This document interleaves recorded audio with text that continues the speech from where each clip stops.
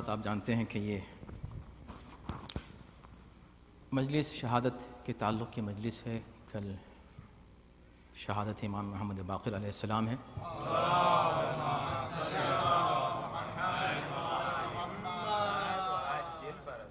اور دو دن کے بعد جناب مسلم ابن عقیل علیہ السلام کی شہادت بھی ہے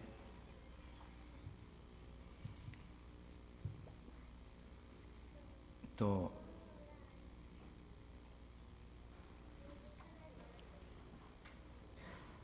اس سلسلے میں یہ مجلس ہے، اور آپ یہ بھی جانتے ہیں کہ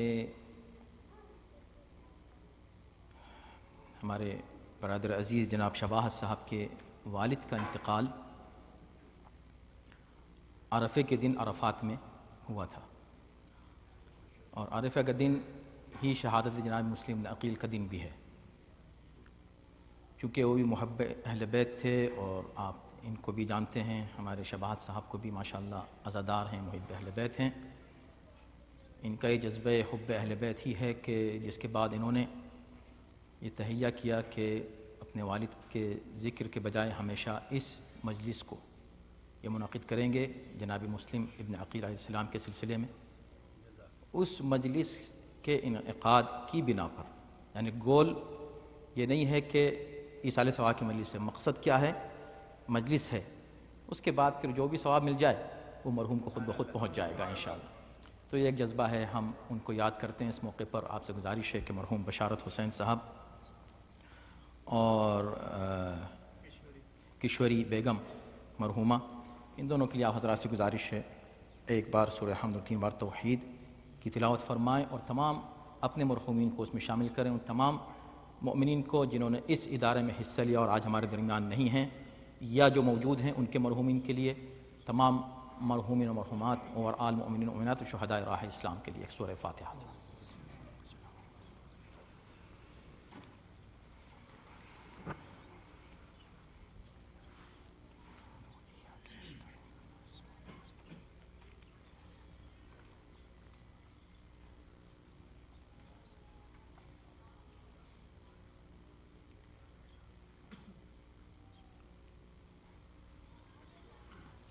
اور انتہائی خوشی کی بات ہے کہ آج اس مجلس میں، اور خاص طور پر اس مجلس میں شرکت کے لیے ڈیٹروئٹ سے فلائی کر کے آئے ہیں جناب حجت اسلام سید محمد باقر الکشمیری، جو یہاں آپ جانتے ہیں کہ آیت اللہ سیستانی کے دفتر کے انچارج اور ان کی وکیل بھی ہیں اور ان کے وکیل کے وکیل بھی ہیں۔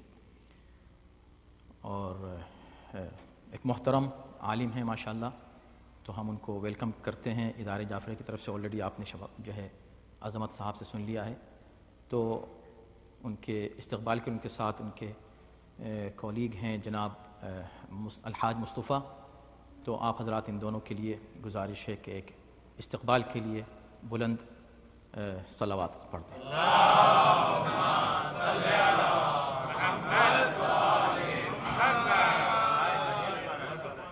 رحم الله من قرأ الفاتحة بسم الله الرحمن الرحيم الحمد لله رب العالمين الرحمن الرحيم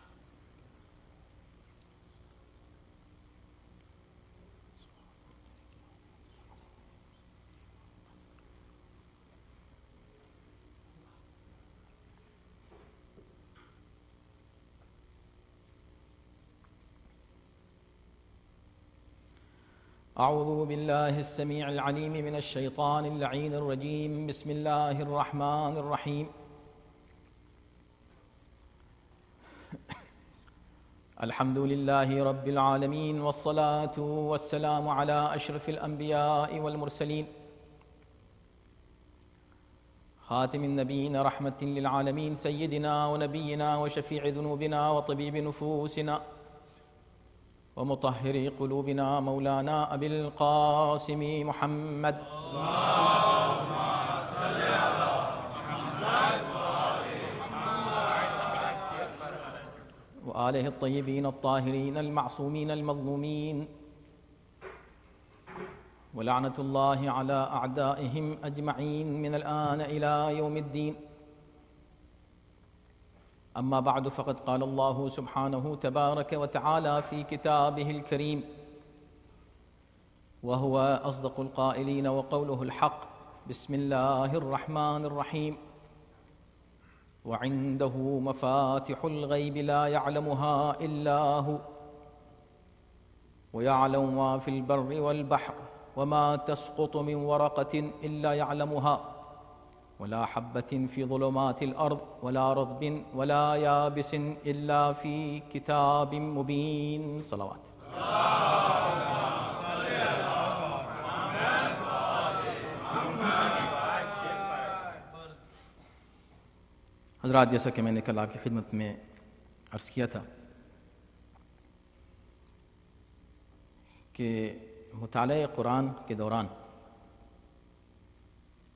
ایک مومن کو یہ اندازہ ہوتا ہے کہ کتنا بڑا خزانہ علم اور حکمت ہے یہ کتاب الہی۔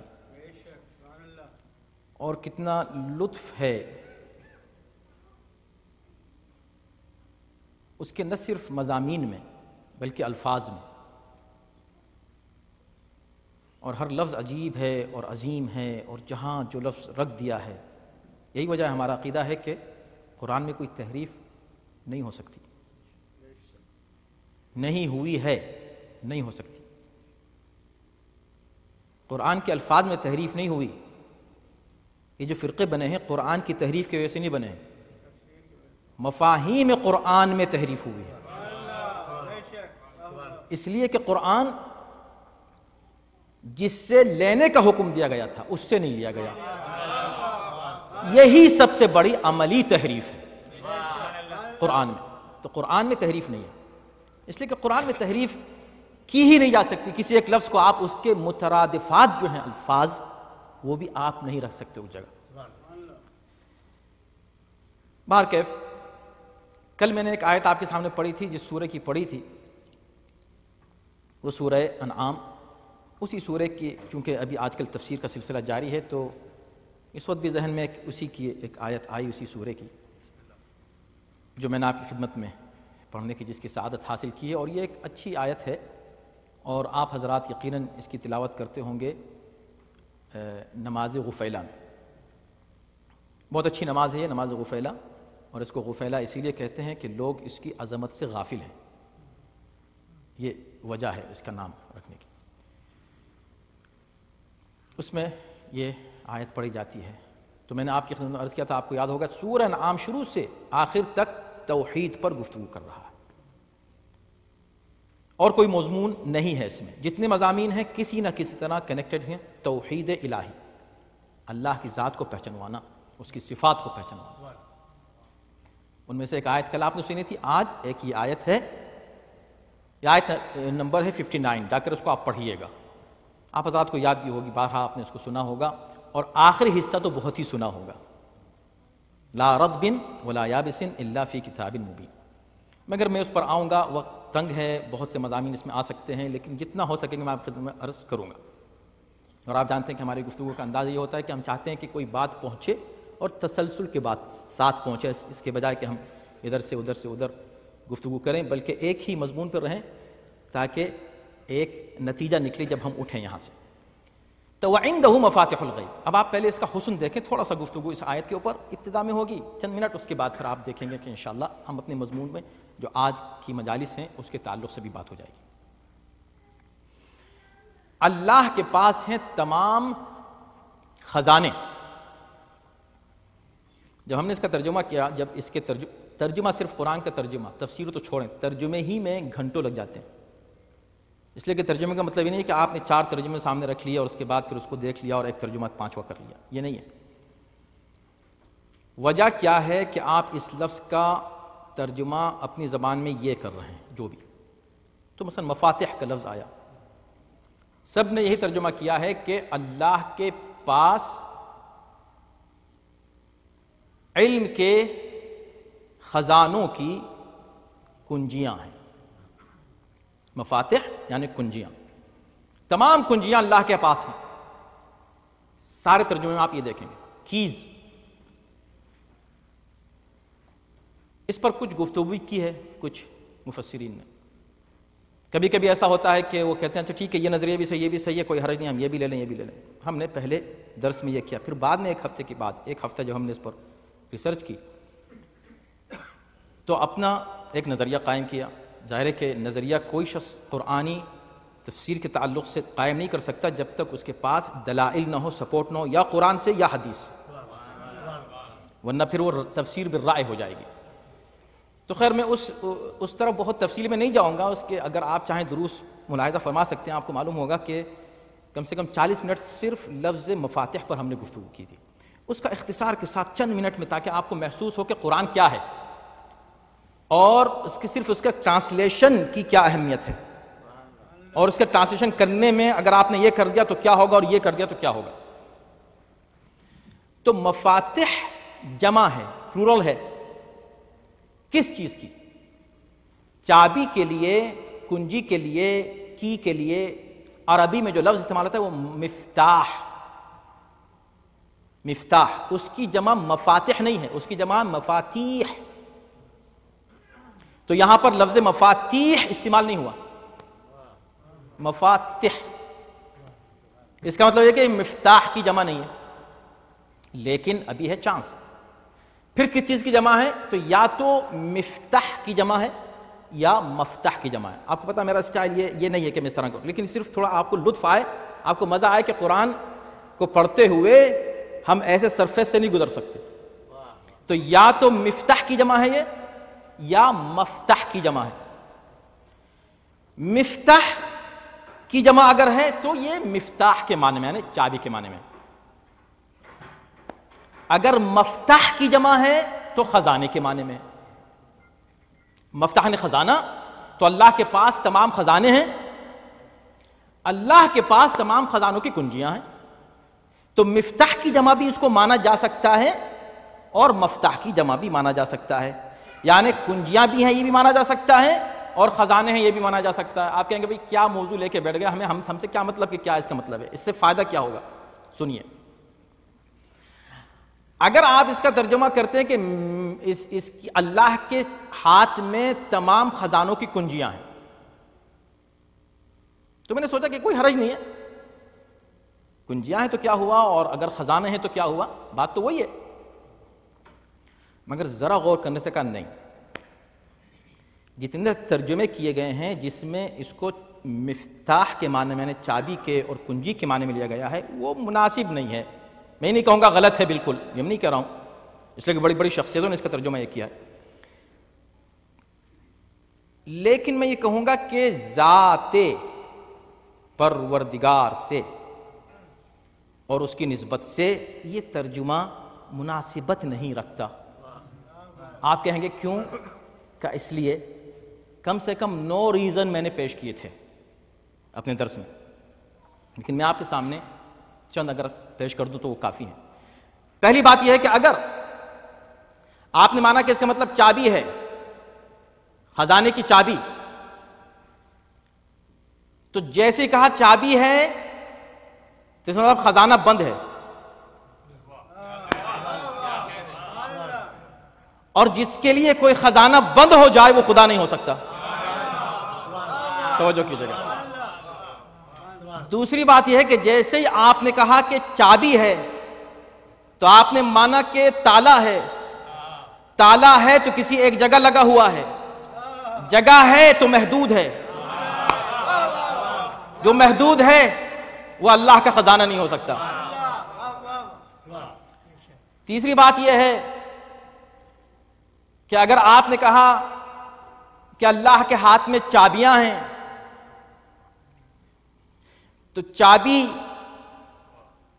کے ساتھ تالے کا تصور، تالا وہاں لگایا جاتا ہے جہاں مالک کو خطرہ ہو کہ میرے خزانے پر کوئی اور آ کر قبضہ کر لے گا۔ جہاں یہ خطرہ ہو جائے، یہ ملکیت خدا کی نہیں ہو سکتی۔ توجہ نا؟ اب آپ جا کر آپ دیکھیں تمام قرآن کے جتنے ترجمے ہیں، سب میں مفتاح کیا گیا ہے۔ تو اگر میرے پاس دلائل نہیں تو میں اس کو رد نہیں کر سکتا۔ میں کون ہوں؟ میری حیثیت کیا ہے؟ لیکن میرے پاس یہ دلیل ہے۔ نرس کیا، نو دلیل ہے۔ تو اب آپ نے کہا کہ چابی ہے۔ عجیب بات سبحان اللہ۔ چابی ہے۔ خزانہ کھولنے کے لیے چابی ہے۔ تو جیسے کہا، چابی ہے۔ ہم کہہ رہے ہیں خزانہ ہے۔ آپ نے کہا، چابی ہے۔ چابی کا تصور آتے۔ یہ ہوگا نا کہ اب اگر اس خزانے میں سے کسی کو دے گا، تو کھولے گا، کھول کر پھر اس میں سے نکال کے دے گا۔ جتنی دیر میں کھولے گا، کن فیکون نہ ہوگا۔ توجہ کچھ تو تاخیر ہوگی۔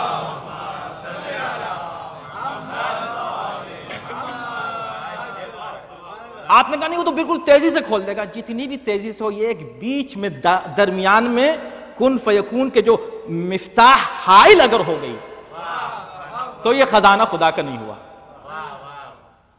اب میں زیادہ اس پر صرف نہیں کر سکتا، لیکن اس سے مجھے خوشی یہ ہے کہ یہ مجمع جس میں مجلس پڑھتا ہوں، اس طرح کی گفتگو کو بھی نہ صرف سمجھتا ہے، لطف اندوز ہوتا ہے۔ تو اگر میں، اگر تمام اور بھی اس میں تفاصیل، بڑی دلچسپ تفاصیل ہیں لیکن وقت پورا تمام نہ ہو جائے اسی میں۔ آپ جا کے مطالعہ کریں اور دروس میرا الحمدللہ موجود ہے، آپ اس میں بھی دیکھیں اور مجھ کو رائے دیں۔ وہاں جب بعد میں گفتگو ہوتی ہے، اس میں بڑا لطف آتا ہے۔ لوگ سب اپنی اپنی طرف سے اپنے جو بھی ان کے خیال میں کوئی نقطہ آیا ہے، اس نقطے کو شیئر کرتے ہیں۔ آپ بھی کر سکتے ہیں۔ تو مختصر میں سمجھتا ہوں، اتنا کافی ہے۔ اور بہت کچھ دلائل ہیں اس بات کے کہ ہم اس کو مفتاح بے معنی چابی نہیں مان سکتے۔ خزانہ ہے۔ اور ظاہر ہے کہ اس کے تعلق سے خود علامہ تبرسی جو ہمارے سب سے اہم مفسرین میں سب سے قدیم مفسر ہیں، انہوں نے اس کو ہی اسی ترجمے کو زیادہ ترجیح دی ہے، بغیر کسی وجہ بیان کیے لیکن ترجیح دی ہے کہ ہاں اس سے خزانے ہی مراد مفتح کی جمع مفاتح۔ اور اس کے بعد پھر بہت سے ریزنز ان لوگوں کے جنہوں نے اس کو چابی کہا ہے، وہ سب اس کی تردید ہے۔ مختصر یہ کہ دیکھیں، جب قرآن آپ پڑھیں، بہت سے لوگ کہتے ہیں کیا ہم ترجمہ پڑھ لیں، کافی ہے؟ اب آپ کو اندازہ ہو گیا۔ ترجمے کے ساتھ معتبر تفاصیر پر نظر رہنی چاہیے۔ اور وہ تفاصیر کہ کسی نہ کسی طرح جو مربوط ہوں اہل بیت سے۔ اس لیے کہ اگر اہل بیت سے مربوط نہیں ہے تو پھر آپ کو وہ خزانہ نہیں مل سکتا۔ وَعِندَهُ مَفَاتِحُ الْغَيْبِ لَا يَعْلَمُهَا إِلَّا هُوَ۔ اس خزانے کا علم کسی کو نہیں ہے سوائے اس کے۔ صرف وہ جانتا ہے یہ خزانہ بس۔ اس میں جتنے بھی غیب کے مسائل صرف اسے معلوم ہے۔ کتنی بحث ہوتی ہے غیب پر؟ علم غیب کے اوپر کتنی بحثیں کتابوں کی کتابیں لکھی گئی لیکن میں ایک جملے میں مسئلے کو آپ کے سامنے واضح کر دینا، جملے میں۔ یاد رکھیے،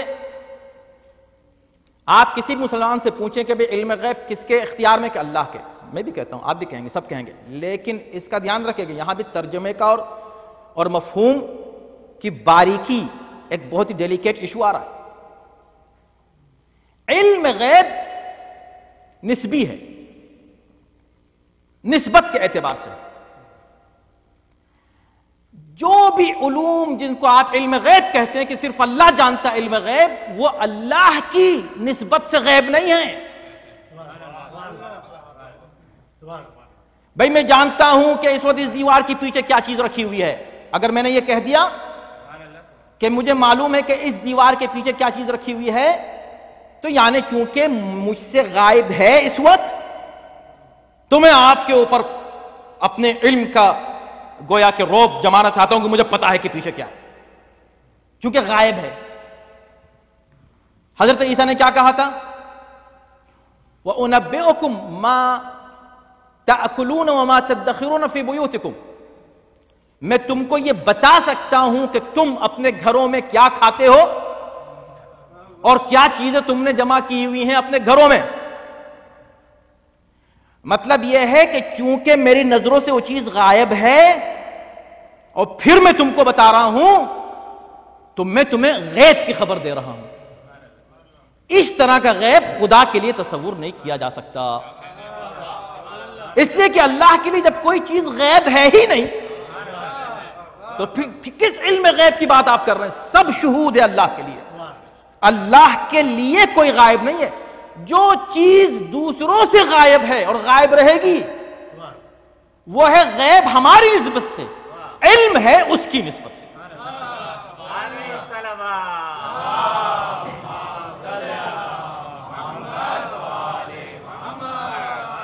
اب آج کی پوری گفتگو توحید پر ہے۔ ما فی البر والبحر۔ یہ علم اللہ کسی کو نہیں دیتا۔ لا یعلمها الا ہوا کسی کو نہیں. اب اس میں کوئی استثناء نہیں کیا. اس کا مطلب کسی کو نہیں. اللہ ہوا. بس وہ. بس پکڑ لیا کچھ لوگوں نے. جنہیں مفاہیم قرآن نہیں آتے نا. جن کی نظر تنگ ہے. جو جو اصل سورس سے مفاہیم قرآن کو نہیں لیتے، وہ حقائق قرآن کو سمجھ بھی نہیں پاتے. یہ بات بالکل صحیح ہے کہ یہاں کوئی استثناء نہیں کیا، لیکن دوسری آیتوں میں استثناء ہے. اللہ نے کہا ہے کہ لا يظہر على غیبہ احدا۔ اللہ اپنے علم غیب کو ظاہر نہیں کرتا کسی پر بھی، کسی پر بھی۔ جیسے یہاں کا اللہ ہوا، لا يظہر على غیبہ۔ اب لا اپنا علم غیب کسی پہ ظاہر نہیں کرتا۔ الا من ارتضى من رسول۔ علاوہ اب یہاں فوراً ایکسپشن کیا گیا۔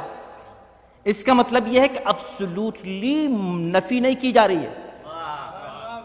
اللہ اللہ کا مطلب یہ کہ کچھ ہیں ایسے جن کو اللہ علم غیب دے دیتا ہے۔ اب علم غیب اللہ دیتا ہے، کچھ ہیں ایسے، وہ کون ہیں؟ اللہ من ارتضا کچھ وہ لوگ جنہیں خدا چن لیتا ہے۔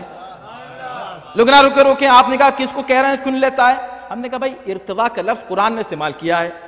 میں کیا کر سکتا ہوں؟ ارتضا ہی سے مرتضا ہے۔ اب ہم کیا کر سکتے ہیں؟ لیکن میں نہیں کہہ رہا ہوں کہ یہاں اس سے مراد کون ہے۔ میں کہنا چاہ رہا ہوں اللہ من ارتضا من رسول۔ صرف رسول کو۔ دیکھا؟ یہ تو صرف رسول ہے۔ اس میں یہ تو نہیں کہا من رسول و امام۔ نہیں، من رسول۔ لہذا اگر علم غیب ہے بھی تو ہم مان سکتے ہیں صرف رسول تک۔ آپ نے کیسے کہا کہ کسی امام کے پاس بھی علم غیب ہے؟ بالکل صحیح کہا۔ بھائی ہم کب ایسی باتیں کرتے ہیں جو اللوجیکل ہوں؟ ہم تو خود دعوت دیتے ہیں علم و عقل کی طرف۔ بے شک یہاں پر امام کا لفظ استعمال نہیں کیا۔ اللہ من ارتوا تو خزانے علم کے علم غیب کے اللہ کے پاس ہیں یا اس کے؟ پہلے ایک ایک, ایک مطلب ایک بات یہ سن لیں کہ وجہ کیا ہے کہ یہاں پر استثناء نہیں ہے۔ ایکسپشن اس آیت میں اللہ ہوا کیوں کہہ کے خاموش ہو گیا؟ دوسری آیت میں کیوں ہے؟ کیا اس لیے کہ ڈیپینڈ کرتا ہے کہ کب کس سے خطاب کیا جا رہا ہے؟ چونکہ پورا سورہ انعام مشرقین سے بات کی جا رہی ہے اس میں۔ اور مشرقین مطلقاً خدا ہی کو نہیں مان رہے ہیں۔ لہذا ان سے صرف خدا کی بات کی جا رہی ہے۔ آگے کی بات کرنے کی ضرورت ہی نہیں ہے۔ پہلے وہ خدا کو تو مانے۔ مگر جو خدا کو مانتے ہیں ان سے کہا جا رہا خدا پہ مت رک جانا۔ خدا کے آگے بھی کچھ ہے کہ تم کو جسے ماننا ہے، بلکہ خدا سے پہلے جسے ماننا ہے۔ اس کو نہیں مانو گے تو خدا ہی سمجھ میں نہیں آئے گا۔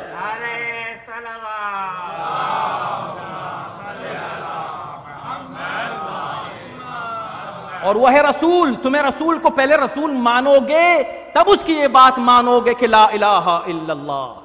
اس کو رسول مانو۔ تو پتہ یہ چلا کہ یہاں یہ سبب ہے۔ اب آئیے۔ ٹھیک ہے۔ تو رسول کا ذکر کیا اس آیت میں بھی اگر استثناء ہے تو اس سے کوئی امام تو اس میں شامل نہیں ہے نا۔ اگر امام کے پاس بھی علم غیب ہوتا تو خدا یہ کہتا کہ اللہ جس رسول یا امام کو چن لے، اسے علم غیب دیتا ہے۔ میں شاید آپ کو پریشان کر رہا ہوں تھوڑا سا نا۔ اسی میں تو مزہ آتا ہے۔ دیکھیں، ہم دوسرے کے اعتراضات کو غور سے سنتے ہیں۔ یہی فرق ہے۔ مذہب اہل بیت میں اور دوسرے مذاہب میں۔ کہ ہم کوئی بات فوراً رد نہیں کر دیتے۔ سنو۔ دوسرے کے اعتراض کو سنو۔ اگر معقول بات ہے تو مانو، معقول نہیں ہے تو اس کو عقل سے معقول طریقے سے رد کرو۔ تو انہوں نے کہا کہ اس سے مراد صرف رسول ہے۔ اس میں صرف رسول کا ذکر، ہم نے کہا بالکل صحیح ہے۔ صرف رسول کا ذکر ہے۔ امام کا کیوں نہیں ہم نے کہا امام کا نہیں ہونا چاہیے تھا۔ اس لیے کہ امام کا ہوتا تو تم اس کے علم کو محدود سمجھ لیتے پھر۔ تو وہ کیسے کہ نہیں، یہاں پر سٹیپ بائی سٹیپ بات ہو رہی ہے۔ وہاں صرف مشرقین سے بات کی گئی تھی۔ یہاں مسلمانوں سے بات کی جا رہی ہے۔ اب وہ جو تم امام کی بات کرو اور آگے کی بات ہے۔ وہ آگے کی بات کیسے ہوگی؟ وہ ہم آپ کو بتا رہے ہیں کیسے ہوگی۔ خدا کو یہی رکنا چاہیے اصولاً۔ کہ بھئی دیکھو میں جس رسول کو چن لوں، تم مجھے یہ بتائیں مسلمان۔ سن لیجیے گا اس بات۔ مسلمان یہ بتائیں، بھئی خاتم النبیین سے بڑا کوئی رسول ہے جسے خدا چن لے علم غیب کے لیے؟ یعنی آپ یہ کہہ سکتے ہیں کہ عیسیٰ علیہ السلام تو غیب کی خبریں دیں اُنَبِّئُكُمْ مَا تَعْكُلُونَ وَمَا تَدَّخِرُونَ فِي بُيُوتُكُمْ وہ تو کہیں کہ میں تم کو خبر دے سکتے ہوں، تم کیا کھا رہے ہو، علم غیب نہیں ہے؟ تو نبی تو علم غیب کی خبر دے۔ عیسیٰ خاتم النبیین نہیں دے سکتے غیب کی خبریں؟ ارے شاید پیغمبر نے اسی لیے اپنی تبلیغ کا آغاز ہی اس جملے سے کیا کہ یہ بتاؤ اگر میں تم سے یہ کہوں کہ اس پہاڑ کے پیچھے توجہ کیجیے اس پہاڑ کے پیچھے ایک لشکر ہے۔ یا رسول اللہ، یہ کیوں؟ کہا، اس لیے کہ میں ان کو غیب کے تعلق سے بتانا چاہتا ہوں۔ کہ میں تمہیں غیب کی بھی خبر دوں، مانو گے؟ تو کہا مان لیں گے؟ کسی نے کہا پہلے جا کے دیکھیں گے ریسرچ کریں گے، تحقیق کریں گے انویسٹیگیشن کریں گے۔ نہیں نہیں، بالکل مان لیں گے۔ غیب ہے، پھر بھی مان لیں گے۔ اتنے سچے ہیں آپ۔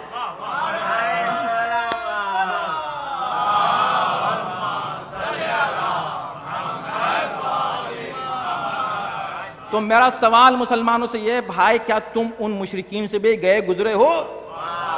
کہ تم خاتم النبیین کے لیے اتنے علم کا بھی اقرار نہیں کرو گے؟ تو پتا چلا کہ اللہ من ارتضا من رسول، علاوہ اس رسول کے جسے خدا چن لے۔ ہر رسول کو نہیں دے گا علم غیب، یہ سارا۔ ان رسولوں میں جسے خدا منتخب کر لے خاص۔ تو ان خاص منتخب رسولوں میں اپنے نبی کو مانو گے؟ یا نہیں مانو گے؟ یا وہی ہوگا کہ عیسیٰ تو پیدا ہوتے ہی نبوت کا اعلان کریں۔ اور اپنے نبی کے لیے ضد یہ ہے کہ چالیس سال کے بعد نبی بنے۔ وہ نظریہ تو یہاں اپلائی نہیں کرو گے۔ تو مانو گے نا کہ نبی خاتم النبین ان انبیاء میں ہیں، ان رسولوں میں ہیں جن کو اللہ نے منتخب کیا۔ کہا، نہیں نہیں، ہم ان کی بات ہی نہیں، ہم تو کہہ رہے ہیں، بھائی، وہ رسول ہیں، ان کو تو اللہ نے منتخب کیا۔ علی کو نہیں کیا۔ اچھا بھائی، ٹھیک ہے ٹھیک ہے۔ پہلے تم یہاں تک تو مانو۔ رسول کو منتخب کیا کہ ہاں اس کا مطلب ہے کہ اگر علم کے خزانے کسی کے پاس ہو سکتے ہیں، اللہ کے علم غیب کے خزانے، یا جتنا بھی خدا دے دے، اتنا اگر کسی کے پاس ہو سکتا ہے تو خاتم النبیین ہے۔ تو علم کس کے پاس آئے گا؟ نبی کے پاس۔ اب اگر تم کو وہ علم لینا ہے، کس کے پاس جاؤ گے؟ بھئی پہنچ گئے کہ نہیں؟ نبی کے پاس جاؤ گے نا تو آؤ، نبی کے پاس سب چلتے ہیں۔ یا رسول اللہ، جو آپ کو علم اللہ سے ملا، تھوڑا ہمیں دیجیے، کہا اچھا چاہتے ہو؟ انا مدینت العلم و علی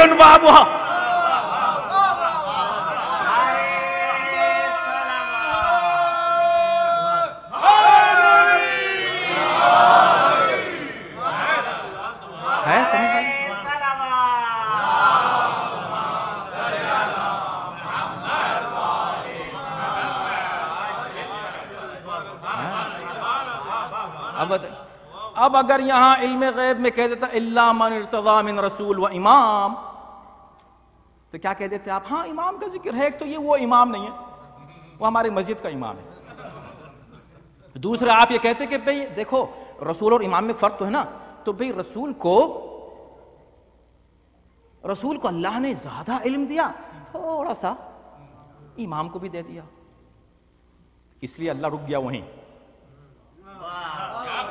اس لیے اللہ وہیں رک گیا کہ میں نے رسول کو دیا ہے۔ اب باقی رسول کس کو دیتا تم خود رسول سے پوچھ لو۔ اسی لیے کسی نے کسی ایک بہت بڑے اسکالر سے پوچھا، جن کا تعلق مذہب اہل بیت سے نہیں تھا ان اسکالر کا۔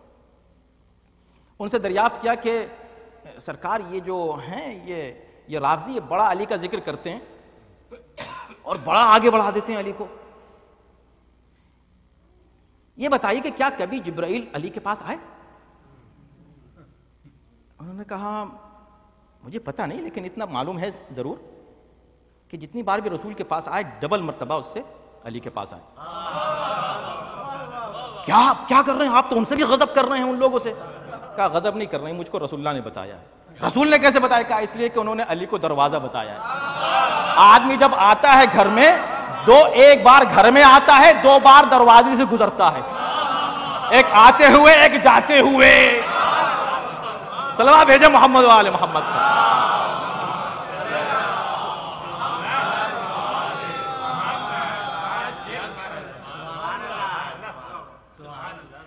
تو خیر، یہ تو درمیان کی ایک بات تھی جملے معترضہ کے طور پر، لیکن اصل بات وہاں چل رہی یہ ہے۔ بات سمجھ میں آ رہی ہے نا؟ کہ اب اللہ اس علم غیب کی خبر کسی کو نہیں دے گا۔ علاوہ ان لوگوں جن کو منتخب کرے گا اس میں یہاں پر چونکہ مشرقین سے بات ہو رہی تو بات یہیں رک گئی۔ اللہ ہوا۔ یا علم ما فی البر والبحر۔ پہلے خزائن کی بات ہوئی تمام خزانے کائنات کے۔ تمام خزان تمام کائنات کے خزانے۔ اب اس کی کوئی حدیں معلوم ہے؟ سوال ہی نہیں پیدا ہوتا۔ ایک صاحب نے دریافت کیا کہ بھئی یہ جو اللہ نے فرمایا ہے کہ اللہ کے پاس علم کے تمام خزانے ہیں عند مفاتح الغیب، آخر کیا ہیں یہ خزانے؟ یہ خزانے کیا ہیں؟ ہم نے کہا سبحان اللہ، عجیب سوال ہے۔ اگر ہم بتا دیں تو خزانے کیا رہے وہ؟ جو خزانے تو یہی ہیں کہ اسی کو معلوم ہے یا ان کو جسے وہ بتا دے۔ یا علم اب کتنا علم ہے؟ تو پہلے خزانوں کی بات کی۔ انلمیٹڈ آپ کو پتا ہے اس کائنات میں، اس دنیا کا۔ دنیا، کل دنیا کی بات ہو رہی تھی نا۔ اس کی لمٹس معلوم ہے کسی کو؟ دنیا کی لمٹس معلوم ہے۔ کائنات کی لمٹس کس کو پتا ہے؟ اسپیس کی لمٹس کوئی بتا دیں۔ دنیا کا کوئی سائنٹسٹ کوئی بڑے سے بڑا اسٹرونومر کوئی کوئی شخص یہ نہیں بتا سکتا کہ لمٹس کیا کہتے ہیں کہ ہاں بھئی آپ کی زمین ہے۔ پھر یہ ایک سولر سسٹم ہے۔ پھر یہ جو ملکی وے ہے گلیکسی ہے، اس کے بعد پھر گلیکسیز ہیں گلیکسیز انلمیٹڈ اسپیس کوئی لمٹ نہیں۔ اب یہ جو جس کی کوئی لمٹ نہیں، اس کو خدا کرے سب میرے پاس ہے یہ تو وہ ہے کہ جو اس دنیا میں خدا نے کہا، شاید یہ تمہارے سمجھنے کے لیے بڑی بات ہو گئی۔ اس کو چھوٹا کر دوں۔ ایزی کر دوں تمہارے لیے۔ ایزی کیسے کیا؟ سنو۔ وہ ما فی البر والبحر۔ اب تم گلیکسیز کو چھوڑ دو اپنی گلیکسی کو بھی چھوڑ دو اپنی ملکی وے کو بھی چھوڑ دو اپنے سولر سسٹم کو بھی چھوڑ دو۔ اپنی زمین لے لو خود۔ یا ما فی البر والبحر۔ اس زمین میں یا خشکی یا تری ہے۔ اب یہ غیب نہیں ہے۔ یہ وہ خزانوں کی بات نہیں ہو رہی یہ وہ علم ہے جو تم پر ظاہر ہو سکتا ہے ایک وہ علم ہے جو ظاہر نہیں ہوا تم پر، نہ ظاہر ہو سکتا ہے۔ ایک وہ جو انسان جس کو ایکسپلور کر سکتا ہے۔ آپ سمندر میں دیکھ سکتے ہیں کہ کتنی چیزیں اس ایریا میں ہاں دیکھ سکتے ہیں، زمین پہ دیکھ سکتے ہیں، کیا ہے؟ ہو رہا ہے رائٹ یہ جو تم ایکسپلور کر سکتے ہو، جو علم تم کو حاصل ہو سکتا ہے، وہ بھی تمہارے پاس نہیں۔ یا علم ما فی البر وہی جانتا ہے کہ تری میں کیا ہے اور خشکی میں کیا ہے؟ کہا ہو سکتا ہے یہ بھی اس انسان کے لیے بہت زیادہ ہو گیا ہو۔ خدا کے علم کو سمجھنے کے لیے یہ کیا سمجھے گا بیچارہ؟ میں بھی اس ٹو مچ فور ہم تو کہا اور اس کو کم کیا۔ وَيَعْلَمُ مَا تسقط وما تسقط من ورقت اور کوئی بھی کوئی بھی پتا درخت سے نہیں گرتا، وما تسقط من ورقت الا يعلمها، مگر یہ کہ وہ اسے جانتا ہے۔ عجیب بات ہے، سبحان کوئی پتا ایسا نہیں ہے جسے وہ نہ جانتا۔ اچھا کہنا کیا چاہیے اصولاً؟ اگر ایک عام رائٹر ہو نا، لکھنے والا کسی چیز کے مضمون کا، کوئی شاعر ہو، کوئی ادیب ہو، تو وہ اس کو یوں لکھے گا نا۔ کہ خدا وہ ہے، اگر ہم خدا کی تعریف کریں گے تو کہیں گے کہ خدا وہ ہے جو ہر پتے کو جانتا ہے۔ یہ پتے کے گرنے کی کیا، گرنے والے پتے کو جانتا ہے، یہ کیا بات ہوئی؟ کوئی بھی پتا گرتا خدا جانتا ہے۔ ہر پتے کو جو گر رہا خدا جان رہا کیوں بھائی؟ گرنے کی کیا؟ پتوں کو جانتا ہے۔ نہیں، گرنے والا کیوں؟ کہ گرنا پتے کا پتا گرتا ہی جب ہے جب پتے کی موت آتی ہے۔ پتے کا گرنا ہے، پتے کی انتہا انجام۔ خدا وہ ہے جو نہ صرف پتوں کو جانتا ہے، یہ بھی جانتا ہے کہ یہ پتا کب گرے گا۔ کہاں گرے گا؟ تم ایک درخت کو دیکھ کے ہو سکتا ہے، تمہارے پاس ایسے کچھ کیلکولیشن کو محنت کر کے ایک درخت کے پتوں کو گن لو۔ اگر ذرا بتانا کہ کون سا پتا کب گرنے والا اس لیے گرنے کی بات کی، کہا، پتوں کی بات نہیں ہے کہ وہ کتنے پتوں کو جانتا ہے جانتا ہے کب گرے گا۔ انسان ضروری نہیں ہے کہ خدا کے علم کے تعلق سے جب کوئی تصور کرے تو اس کو ہر بات سمجھ میں آ جائے۔ حضرت ابو ذر ہیں، نو درجے پر ایمان کے فائز ہیں۔ ان صحابہ میں ہیں جن کی تعریف معصومین نے کی ہے۔ اور اس کو بھی ذہن میں رکھیے کہ جس کی تعریف ایک بار معصوم کر دے، اس کا انجام خراب نہیں ہو سکتا کبھی۔ جس کا انجام کبھی بھی خراب عاقبت درست نہیں رہی ہے، اس کے لیے آپ کوئی تعریفی جملہ کسی معصوم کا لا نہیں سکتے۔ تو یہ جناب ابو ذر ہیں، بہت اعلیٰ منزل عرفان پر فائز ہیں۔ حضرت علی کے ساتھ جا رہے ہیں۔ ایک وادی سے گزر ہوا۔ بہت بڑی وادی۔ اور دیکھا کہ وہاں اتنی چیونٹیاں ہیں۔ بے حد حساب۔ چیونٹیاں ہی چیونٹیاں چاروں طرف۔ تو ان کی زبان سے فوراً نکلا سبحان اللہ محصی ہے۔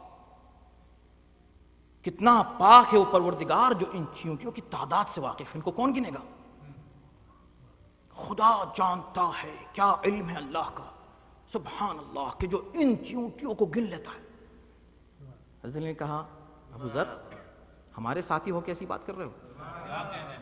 کہا، کیا مولا؟ کیا غلط کہا، نہیں، یہ مت کو۔ یہ کہا سبحان اللہ باری۔ پاک ہے وہ پروردگار جو ان چیونٹیوں کا خالق ہے۔ جس نے ان کو خلق کیا ہے، عدم سے وجود میں جو لایا ہے۔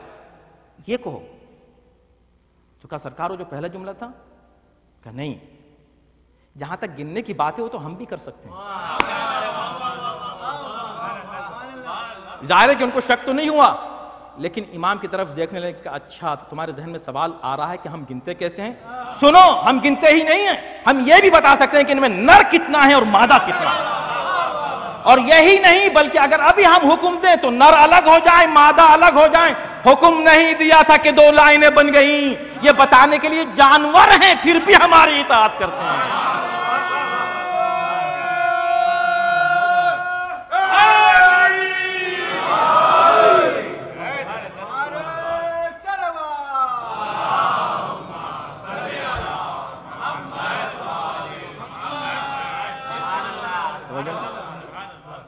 لوگ بہت کہتے ہیں، آپ صرف فضائل علی کے پڑھتے ہیں، آئیے تھوڑا سا توحید پہ گفتگو کریں۔ تو آج میں توحید پہ بات کر رہا ہوں۔ ہے نا؟ موضوع ہمارا توحید۔ تو ما تسقط من ورقت کوئی پتہ گرتا نہیں۔ عام انسان ہو تو صرف اسی پہ تعجب کرے، اللہ ان کی گنتی جانتا ہے۔ گنتی نہیں، گرنے کو بھی جانتا ہے۔ تو اب صرف ایک درخت کی بات کی۔ پہلے پوری کائنات، اس کے بعد پھر صرف یہ آپ کا گلوب، بر و بحر، اس کے بعد اس میں سے ایک چیز لے لی، درخت۔ درخت کی ایک چیز لے لی پتا۔ کہا تم یہ تک نہیں جانتے۔ اب تم اپنی اپنے کو دیکھو۔ تم خدا کے علم کو پہچاننے کی بات کرتے ہو؟ اتنا۔ میں ایک جملہ کہہ دوں۔ جو شخص کائنات کی حدود کو نہ جانے وہ مولائے کائنات کی حد تلاش کرنے نکلتا ہے۔ اور یہ جبھی کرتا ہے جب وہ خود اپنی حد بھول جاتا ہے۔ تو اب آپ دیکھیں۔ من ورقت ولا حبت فی، میں جلدی جلدی کر رہا ہوں اس کو، جلدی گزر رہا ہوں اس آیت سے۔ بہت دلچسپ ہے، ہر آیت دلچسپ قرآن کی۔ سبحان اللہ وما تسقط من ورقت ولا حبت فی ظلمات اور زمین کی گہرائیوں میں کوئی ایسا دانہ نہیں جو وہ نہ جانتا کتنے دانے بکھر جاتے ہیں۔ آپ خود دیکھتے ہیں کہ ایک موسم ایسا آتا ہے کہ بہت ویڈ ہے، آپ اس کو ویڈ کو ہٹانا چاہتے ہیں۔ ایک ہوا چلی، اس سے کتنے دانے بکھر گئے، کون اس کو کاؤنٹ کر سکتا ہے؟ کس کو پتا ہے کہ پھر گہرائیوں میں کتنے چلے گئے؟ وہ خدا جانتا۔ ہے اب سوال یہ ہے کہ نہیں، دو کا ذکر کیوں پتا اور دانا۔ کہ اگر قرآن اللہ کی طرف سے نہیں، تو کیسے ہو سکتا کہ کوئی بیٹھ کر اس طرح اس کو بنائے؟ آپ سوچیں، پتا اور دانا کیوں؟ کہ پتا اور دانا اس لیے کہ اللہ نے پہلے کائنات، پھر کائنات میں سے زمین، پھر زمین میں سے ایک چیز صرف درخت کو لیا اور کہا، خدا اس کے آغاز سے بھی واقف ہے۔ انجام سے بھی۔ درخت ہوتا ہی شروع ہی ہوتا ہے دانے سے۔ تو نہ صرف خدا جان رہا ہے کہ یہ پتا کب گر رہا ہے، خدا کو معلوم ہے کہ یہ پتا کب شروع ہوا ہے۔ عالم وجود میں آنے کی یہ بات ہو گئی نا؟ اب یہ بات ہو گئی۔ اب لوگوں نے کہا کہ یہ دیکھو، یہ تو صرف اللہ دیکھو، یہ کہہ رہا اللہ ہوا، صرف وہ جانتا ہے۔ مگر بات کنکلوڈ کہاں ہو رہی ہے؟ ولا عرف بن، ولا یابسن اب میں درمیان میں اس سے پہلے کہ اس پر آؤں اس ٹکڑے پر، چونکہ آج کی شب کا بھی حق ہے۔ پتے کی گرنے سے واقع پتے کا گرنا۔ امام محمد باقر علیہ السلام نے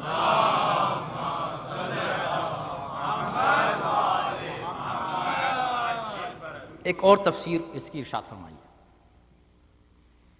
فرمایا کہ اس سے مراد نہ صرف وہ دانے ہیں جو زمین میں ہیں،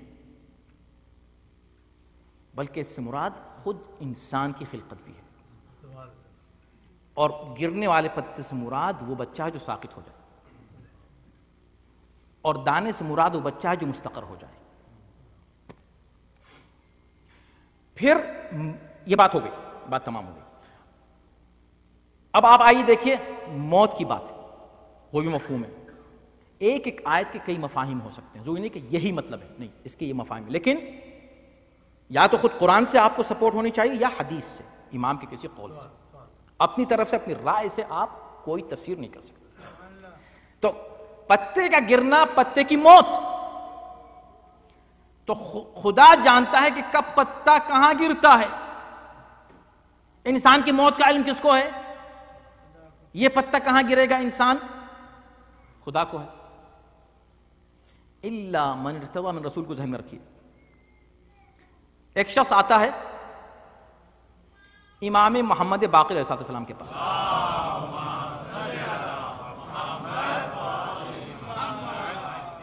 میں چاہتا ہوں کہ یہ آیت بھی تمام ہو جائے اور آج کی گفتگو بھی رہے۔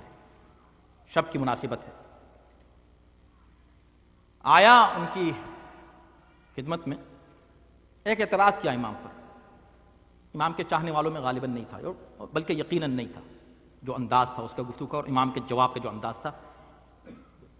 تو روایت میں یہ نہیں کہ کون تھا، اس کا مذہب کیا تھا، اس کے، اس کا نظریہ کیا تھا، لیکن پتہ چل رہا ہے۔ اس نے کہا کہ آپ کو آپ کے بارے میں کہا جاتا ہے کہ آپ کے پاس کوئی فرشتہ اترتا ہے وہ آپ کو بتا دیتا ہے کہ آپ کا شیعہ کون ہے اور آپ کا مخالف کون ہے وہ شیعہ وہ آپ کو بتا دیتا ہے امام سمجھ گئے کہ یہ اعتراض کے طور پہ یہ بات کہہ رہا ہے تمسخر کے طور پہ امام نے کہا کہ بتاؤ تم کرتے کیا ہو اس نے کہا، میں گندم فروش ہوں. میں گندم بیچتا ہوں. فرمایا، تم جھوٹ بول رہے ہو. کہ نہیں، میں کبھی کبھی جو بھی بیچ لیتا ہوں. کہا، تم بالکل جھوٹ بول رہے ہو. کہا، پھر؟ کہا، تم خورمے بیچتے ہو، کھجورے بیچتے ہو. یہ تمہارا پروفیشن میرے سامنے جھوٹ مت بولو. اس نے کہا آپ کو کس نے بتایا؟ کیا یہ اسی فرشتے نے بتایا. یہ اسی فرشتے نے بتایا جو مجھ پہ اترتا ہے۔ کمال میرے جان قربان میرے مولا پر۔ یہ نہیں کہا مجھ پہ فرشتہ نہیں اترتا۔ بلکہ امام ہی کا ایک اور قول ہے، کسی نے پوچھا کہ مولا یہ جو شب قدر ہے، اس میں تنزل الملائکہ کون ہے؟ کس پر نازل ہوتے ہیں فرشتے؟ کیا آپ جانتے ہیں کہ لیلت القدر کب ہے؟ امام نے فرمایا ہاں ہم کو معلوم ہے۔ ایگزیکٹلی exactly کیا ہے کہ ہاں پھر بتائیے کون سے کہا نہیں ہمیں حکم نہیں کہ ہم تم کو بتائیں۔ ان تینوں میں تم عبادت کرو، بس جاؤ انہیں میں کوئی ایک ہے۔ مگر آپ کو پتا ہے کون سی؟ کہا، ہم کو پتا ہے کون سی کہا، آپ کو کیسے پتا ہے کون سی ہے؟ کہا، نادان۔ اگر ہم کو پتا نہیں ہوگا تو فرشتے اتریں گے کہاں؟ توجہ کیجیے۔ گا سمجھ رہے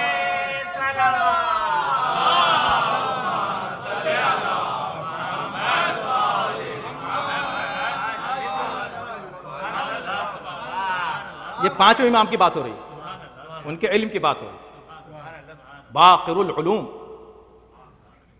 اب وہ شخص، اب ہم ہم پلٹتے ہیں اسے ابھی واقعہ پورا نہیں ہوا۔ تو جب امام نے اس سے کہا کہ تو جھوٹ بول رہا ہے اور تو یہ کام کرتا ہے، یہ غیب کی خبر ہے کہ نہیں؟ کہا شاید اس کے لیے کافی نہیں، میں اس کو ایک اور خبر دیتا ہوں۔ میں تجھ کو ایک اور خبر دے رہا ہوں۔ وما تسقط من ورقة میں تجھ کو ایک اور خبر دوں۔ کیا؟ تین دن میں تیرا انتقال ہو جائے گا۔ یہ بد دعا نہیں ہے، یہ خبر ہے۔ یہ خبر ہے اور ایسا ہی ہوا۔ ایسا کیسے ہوا؟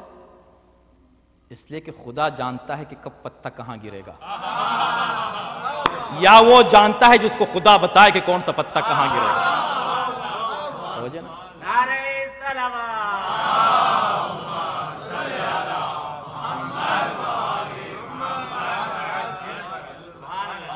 وقت پر میری نظر ہے، انشاءاللہ وقت پر گفتگو تمام ہو رہی ہے، بس اختتام کی طرف ہم جاتے ہیں۔ وما تسقط من ورقة الا يعلمها ولا حبة في ظلمات الارض کنکلوژن کیا ہے اس کا؟ ولا رطب ولا يابس الا في کتاب مبین اس کتاب مبین سے مراد کیا ہے؟ تین اقوال ہیں اور تینوں کو قبول کیا جا سکتا ہے۔ ایک اس سے مراد خود علم الہی ہے۔ دوسرے جو زیادہ معروف قول ہے اور اکثر مفسرین نے اس کو قبول کیا ہے اور اس سے اس کے سپورٹ میں آئمہ کے احادیث بھی ہیں۔ وہ ہے کہ اس سے مراد لوح محفوظ ہے۔ لوح محفوظ۔ اس لیے کہ اس میں لفظ کتاب استعمال ہوا اب انہی امام کی جن کا ہم ذکر کر رہے ہیں۔ باقر علوم اہل بیت۔ باقر علوم انبیاء۔ کسی نے آپ سے اس آیت کے سلسلے میں جب ذکر ہوا آپ کے سامنے تو آپ نے فرمایا، تم کو پتا ہے کہ اس آیت میں اللہ نے، اور چھٹے امام سے بھی ہے روایت۔ اس آیت میں اللہ نے تمہارے مولا کی تعریف کی ہے۔ تمہارے مولا علی کی تعریف کی ہے اس آیت میں؟ اس نے کہا، کہاں؟ مولا کس جگہ ہے وہ؟ اور اس نے پھر آیت اوپر سے نیچے تک، لگ تو نہیں رہا ہے کہیں ہے علی کی تعریف اللہ ایسے نہیں کرتا۔ اللہ کی تعریف علی کے تعلق سے بڑی علم و عقل پر مبنی ہوتی ہے۔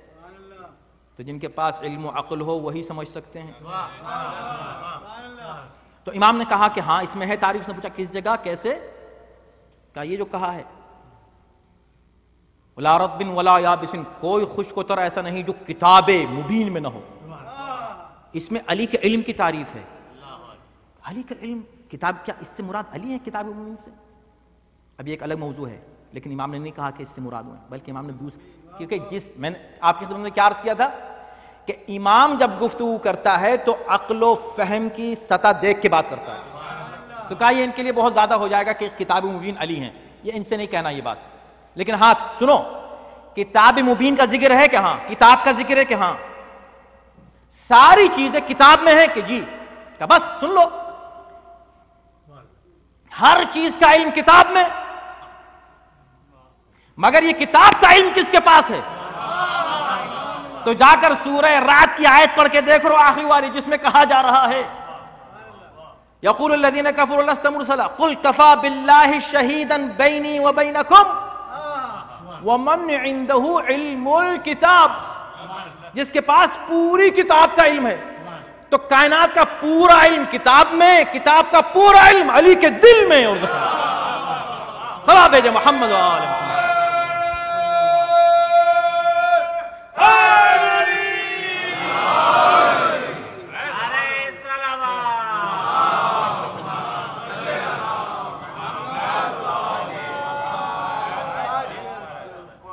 یہ ائمہ اطہار علیہ السلام کو اللہ نے جو عظمت اور کرامت دی، علم، ہم نہیں کہتے ہیں کہ ان کا علم مستقل ہے۔ ہاں یہ شرک ہے۔ اس میں کوئی شک و شبہ نہیں کرنا چاہیے۔ اگر کوئی، خدا نخواستہ، ہمارے یہاں ایسے نہیں ہیں۔ لوگ بدنام کرتے ہیں۔ ہمارے یہاں سے کوئی نہیں کہتا ہے کہ علی کا علم مستقل ہے، اپنا ہے، ذاتی ہے۔ ان کو کہیں سے نہیں ملا ہے، بس ان کا اپنا علم ہے۔ بالکل نہیں۔ ہم یہ کہتے ہیں کہ ان کو علم ملا ہے اللہ سے اور رسول سے۔ ہم یہ کہتے ہیں۔ ہم نے کبھی نہیں کہا۔ ہم یہ بھی نہیں کہتے کہ وہ جو مدد کرتے ہیں، وہ ان کی مدد اپنی ذاتی ہے بائی ہز اون انہیں یہ پاور کسی نے نہیں دیا۔ نہیں، ہم یہ کہتے ہیں کہ یہ پاور ان کو اللہ نے دیا۔ ہرگز نہیں کہتے۔ اگر کوئی کہے کہ نہیں، صرف اللہ سے ان کا کوئی تعلق نہیں، اللہ سے الگ ہے اللہ سے جدا ہے تو یہ شرک ہے۔ اور میں اکثر یہ کہتا ہوں، شاید جملہ آپ کو یاد اس سے پہلے بھی کئی بار عرض کر چکا ہوں، علی کی عظمت کا کمال ہی ہے۔ کہ کسی کو خدا سے ملاؤ تو شرک ہے۔ علی کو خدا سے جدا کرو تو شرک ہے۔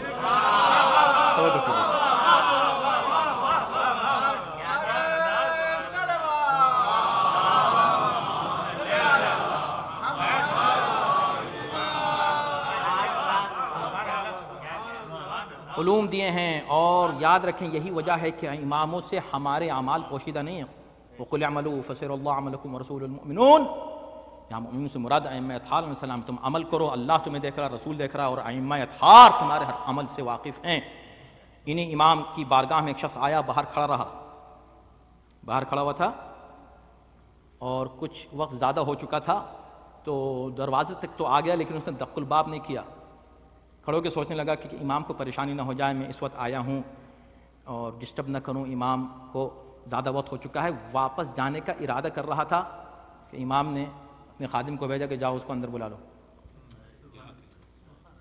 وہ باہر آیا، کہا نہیں، واپس جانے کی فکر مت کرو، ادھر آؤ، اندر بیٹھو، ہمارے پاس۔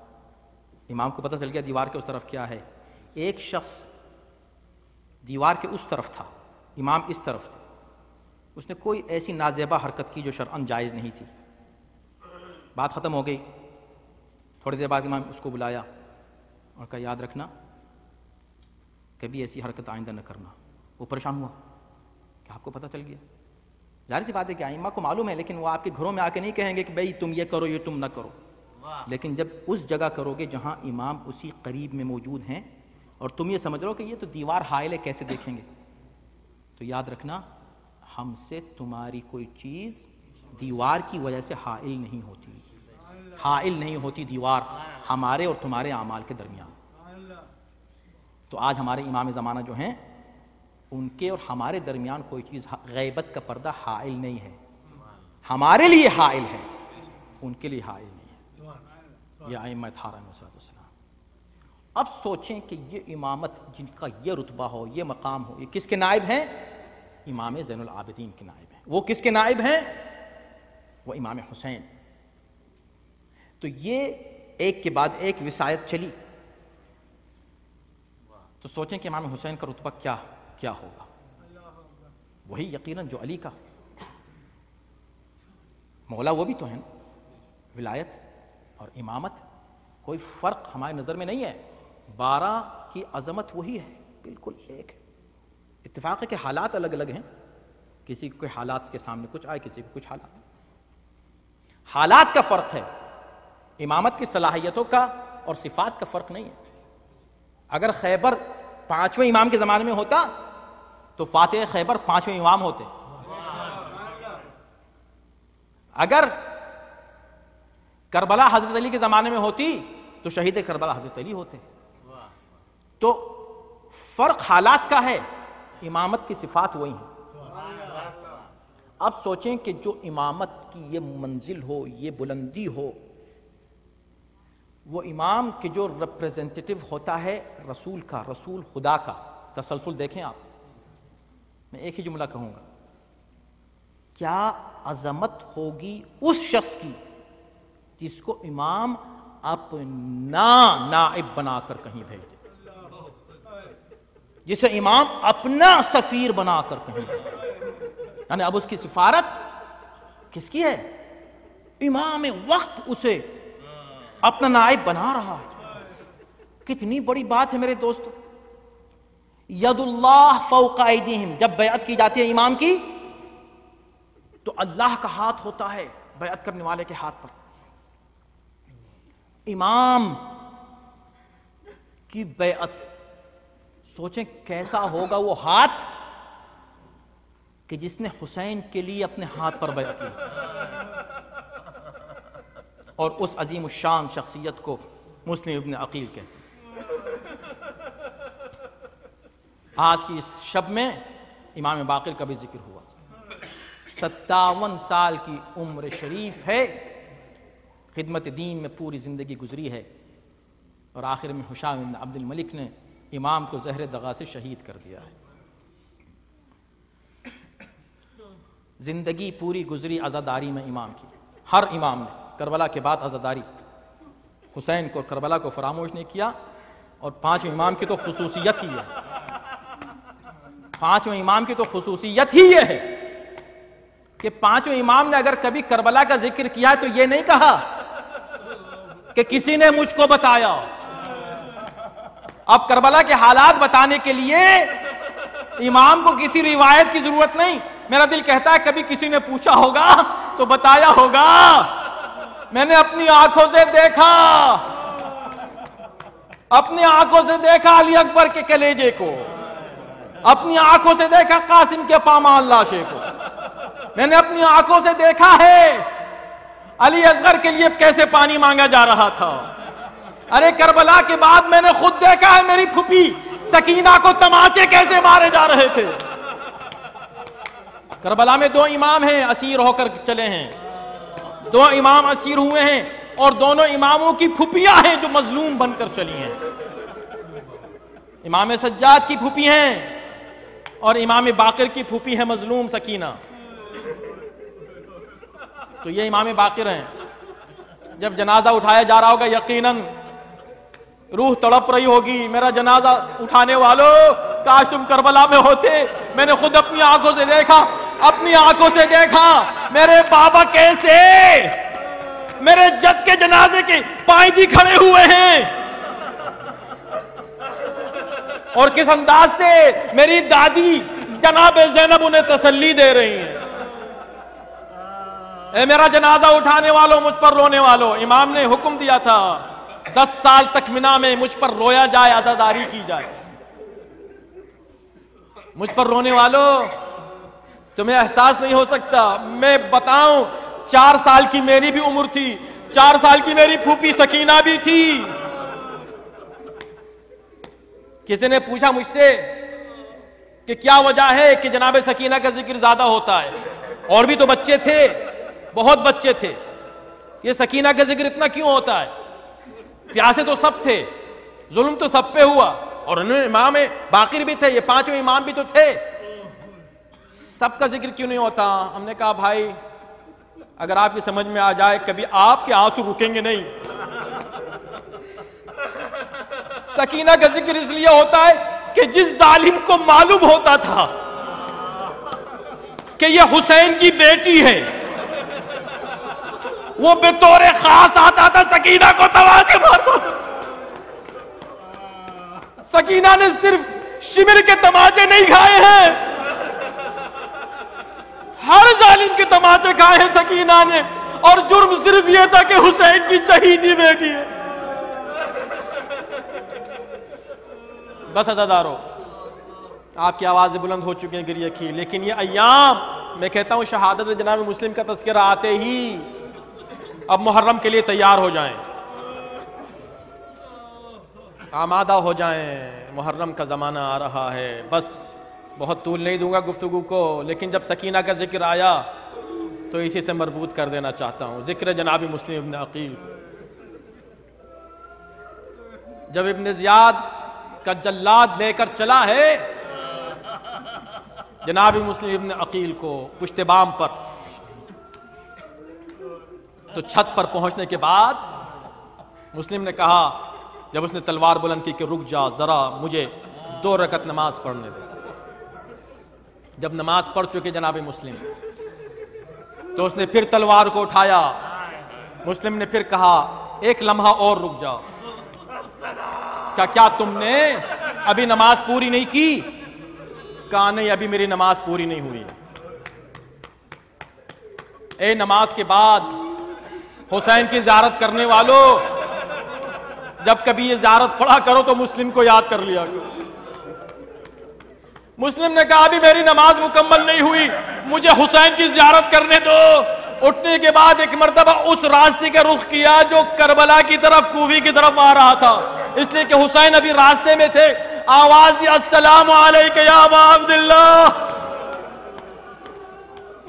مسلم کی آواز بلند ہونا تھی۔ حسین خیمے کے سامنے کرسی پہ تشریف فرماتے، کھڑے ہو گئے۔ وعلیک السلام یا اخی مسلم۔ جیسے یہ کہا، زینب یہ سمجھے کہ مسلم آ گئے، باہر نکلی، بھیا کیا مسلم آ گئے؟ مسلم کے سوال کا، سلام کا جواب دے رہے ہیں آپ۔ کہا، میری بہن نہیں، مسلم نہیں آئے۔ ارے، تلوار کے نیچے سے مجھے مسلم نے میرے بھائی نے سلام کیا ہے۔ اور اس کے بعد امام حکم دیتے ہیں، ارے، ذرا اس بچی کو تو لے کر آؤ جو یتیم ہو گئی۔ اور حسین نے ایک مرتبہ اس بچی کو مسلم کی اپنے زانو پر بٹھایا، سر پہ ہاتھ پھیرنے لگے، پیار کرنے لگے۔ بچی نے امام کو دیکھا، امام کو دیکھ کے کہا، آقا میرے بابا کی خیر تو ہے۔ آقا، میں اسی گھرانے کی پلی بڑی مجھے معلوم ہے، اس گھرانے میں یتیموں سے کیسے شفقت کی جاتی ہے۔ امام نے کہا ہاں بیٹی، آج سے تم مجھے بابا کہنا۔ مجھے بابا کہنا اور یہ کہہ کے ایک مرتبہ حکم دیا، لاؤ وہ گوشوارے لے کر آؤ۔ جو میں نے اس جگہ رکھے ہوئے ہیں، وہ گوشوارے لائے گئے۔ امام نے وہ گوشوارے اس بچی کے کان میں پہنائے۔ پہنا ہی رہے تھے، ایک مرتبہ نظر پڑی۔ میں نے مجلس کو تمام کیا، جتنا رونا چاہیں محرم کا استقبال کریں۔ نظر پڑی ایک اور چار سال کی۔ بچی کھڑی ہوئی اس منظر کو دیکھ رہی تھی۔ حسین کو وقت یاد آ گیا۔ ارے میرے بات کون ہوگا جو اس سکینہ کو اپنی آغوش میں بٹھائے گا؟ کون ہوگا جو سکینہ سے کہے گا؟ بیٹا مجھے بابا کہنا۔ کوئی نہیں ہوگا۔ ایک مرتبہ سکینہ کو بلایا، دوسرے زانو پر بٹھایا۔ اس زینب سے کہا، لاؤ دوسرے گوشوارے بھی لاؤ۔ میں آج سکینہ کو اسی انداز سے رخصت کروں۔ جیسے ایک باپ اپنی یتیم بچے کو رخصت کرتا ہو، اور ایک مرتبہ وہ گوشوارے سکینہ کو پہنا دیے، ہاتھوں کو جوڑ کے عرض کروں، آقا، کاش آپ نے یہ گوشوارے نہ پہنائے ہوتے۔ ارے عائشہ میں غریبہ تھی۔ بچے خیمے سے دوسرے خیمے کی طرف جا رہے تھے۔ شمر کے نجس ہاتھ سکینہ کے گوشوارے کی طرف بڑھ رہے تھے۔ خون بہ رہا تھا، تماچے لگ رہے تھے۔ سکینہ آواز رہی تھی، بابا، سکینہ کو چھوڑ کے کہا۔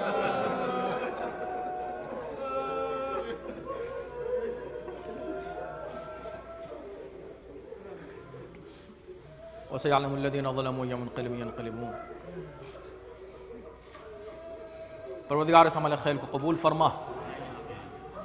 یا اللہ اس سے بہتر انداز سے ذکر اہل بیت سننے اور سنانے کی توفیق کرامت فرما. خدا تجھے اہل بیت طاہرین کا واسطہ اہل بیت کے تعلق سے اور قرآن مجید کے تعلق سے ہمارے علم و معرفت میں اضافہ فرما. پروردگار اہل بیت ہی کا واسطہ۔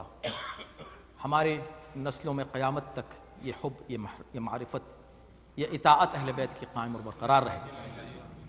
جہاں جہاں اہل بیت کے چاہنے والے پوری دنیا میں آباد ہوں، ان کو امن، امان اور سکون، کرامت فرم آج بھی یزیدی افواج اپنے ظلم کا سلسلہ جاری رکھے ہوئے۔ خداندہ ان یزیدیوں کو ذلیل و خار اور نسنابود فرم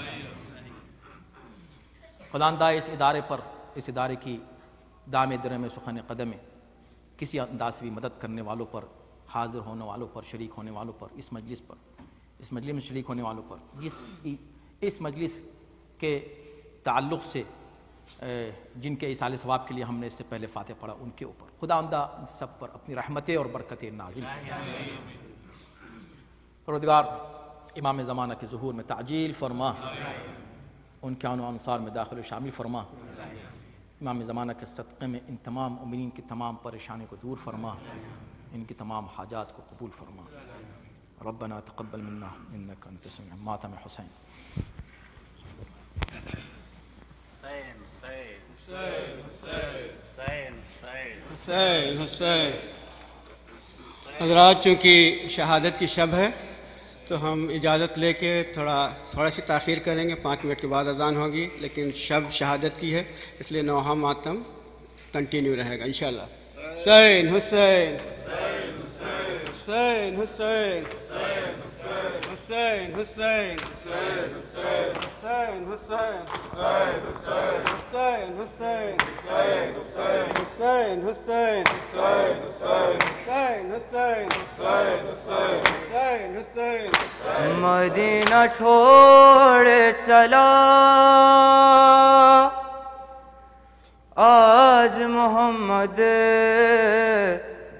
کا نواسا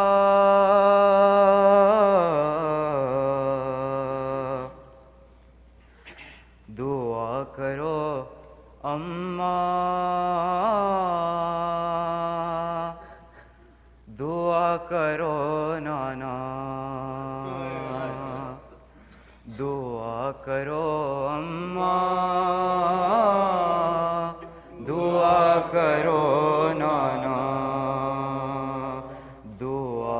کرو اماں دعا کرو وعدے نبھائے سارے، وعدے نبھائے سارے۔ پردیس جانے والے، دعا کرو اماں دعا کرو نانا۔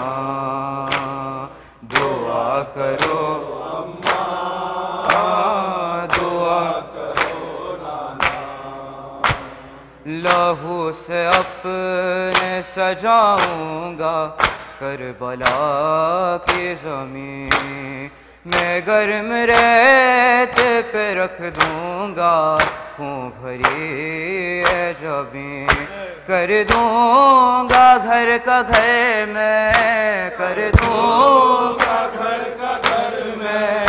خود موت کے حوالے دوں دعا کرو اماں دعا کرو نانا، دعا کرو اماں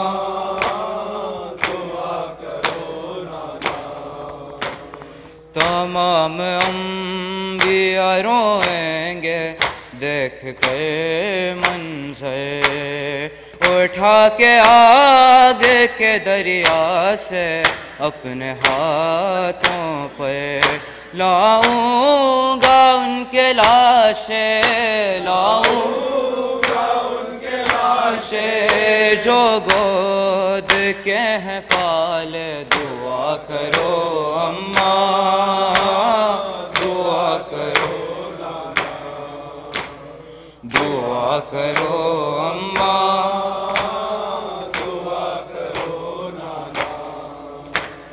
زمانہ کہتا ہے بابا کو، ساکیے کو سے۔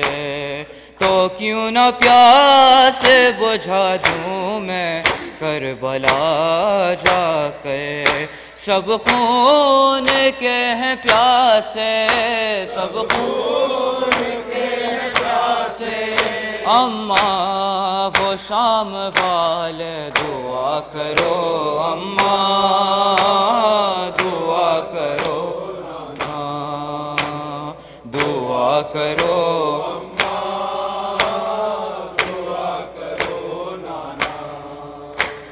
بنا کے تو بت اصغر جو رن سے آؤں گا۔ لباس کھونا جو زینب سے میں منگاؤں گا گونجیں گے کربلا میں گونجیں گے کربلا میں۔ پردیسیوں کے نال دعا کرو اماں دعا کرو نانا۔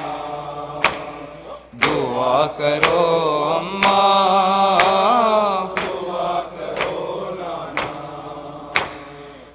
چھٹ کے شام کے زندان سے آئیں گے قیدی۔ تمہیں سنائیں گے رو رو کے داستان اپنی۔ نانا وہ زخم دل ہو نانا یا باؤں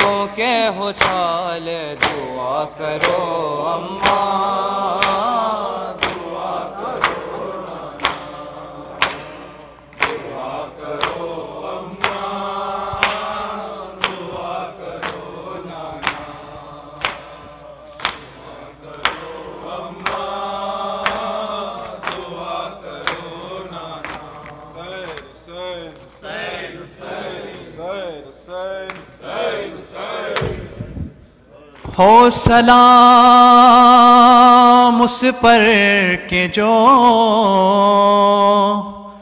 قیدی بھی ہے،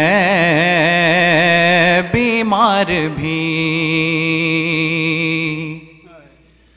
ہو سلام اس پر کے جو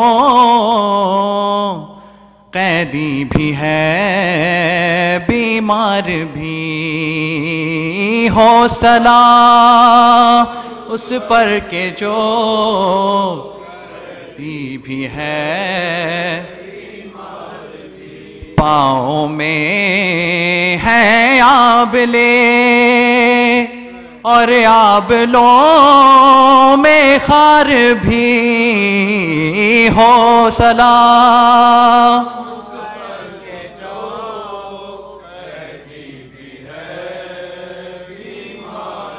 بھی ہو سلام۔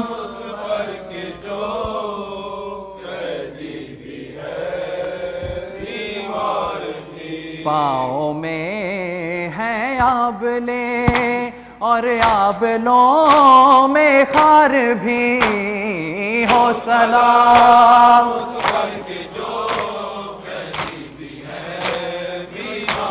بھی ہو سلام اس پر کے جو آنکھ میں آنسوں اور زخم تبر ہے۔ ہوٹوں پردا کا نوحہ کرب بلا سے۔ ہے شام تلک وہ کانٹوں پہ سفر کرتا تھا بیردا سیدانیاں اس پر ستم بازار بھی ہو سلام۔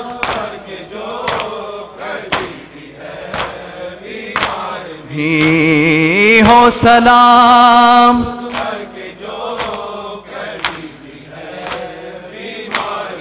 دیکھنے والی آنکھوں نے دیکھا، اس راہ میں یہ بھی منظر ایک مسافر پابند سفر ہے۔ خود اپنی لاش اٹھا کر یہ امام وقت ہے اور قافلہ سالار بھی ہو سلام۔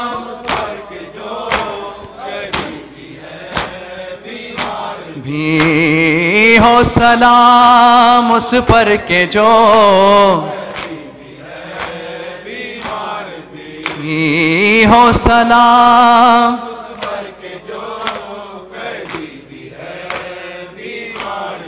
خون رگوں کا، یا غیرت ہاشم، کہتی ہے جھکا لے سر کو توق و سلاسل، کیا قید کریں گے؟ ہے صبر کے اس پیکر کو سر اٹھا ایک اس طرح؟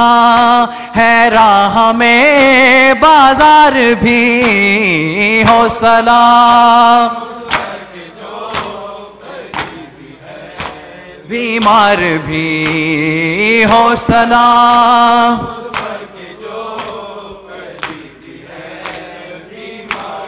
دیکھ کے زینب سجاد کی حالت فریاد یہی کرتی تھی، میرا یقین ہے، ایمان ہے میرا۔ اے شام کے بے کس قیدی روئیں گے؟ تم پر صدا مسند بھی اور دستار بھی، ہو سلام